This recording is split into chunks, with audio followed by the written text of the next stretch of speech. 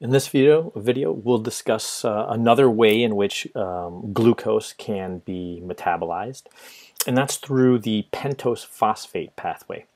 So after you watch this video, I want you to be able to list the glycolytic intermediate that enters the pentose phosphate pathway.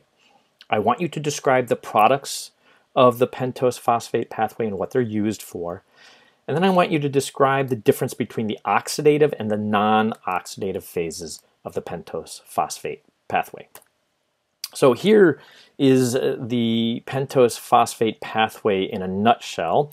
And the two important products are ribose 5-phosphate. And the ribose 5-phosphate, that's used to make RNA and DNA and NADH and FADH2 and coenzyme A. It's used to make all sorts of things. In addition, we are oxidizing glucose and those hydrogens and electrons are being saved here in the form of NADPH. This is different than NADH and this is necessary for uh, biosynthesis of, of reducing precursors into um, a more reduced, more high energy molecules like fatty acids and sterols and things like that. In addition, it's involved in protecting against uh, oxygen, oxygen radicals.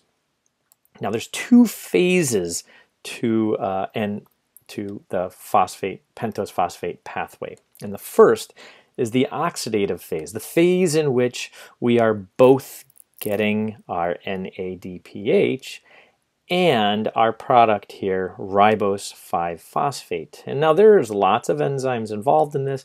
You're not going to have to know them all, but just know the direct entry to this reaction is glucose 6-phosphate. And so we take glucose 6-phosphate, run it through several reactions. We end up just taking one carbon off that. So one carbon is released as CO2 we are generating two NADPH molecules and uh, one molecule of a ribose 5-phosphate. But one potential problem is that some cells may need a lot of NADPH, and so uh, they need this oxidative phase, but they don't need the corresponding ribose 5-phosphate. They're not building nucleic acids, for example. So the non-oxidative phase of the pentose phosphate pathway is a way to recycle this ribose 5-phosphate back into glucose 6-phosphate. But how do you go about taking a 5-carbon molecule and turning it into a 6-carbon molecule? Well, let's take a look at that. So the non-oxidative phase, what it does, the solution here, is that it takes one, two, three, four, five, six ribose 5 phosphates into one, two, three, four, five glucose 6 phosphates.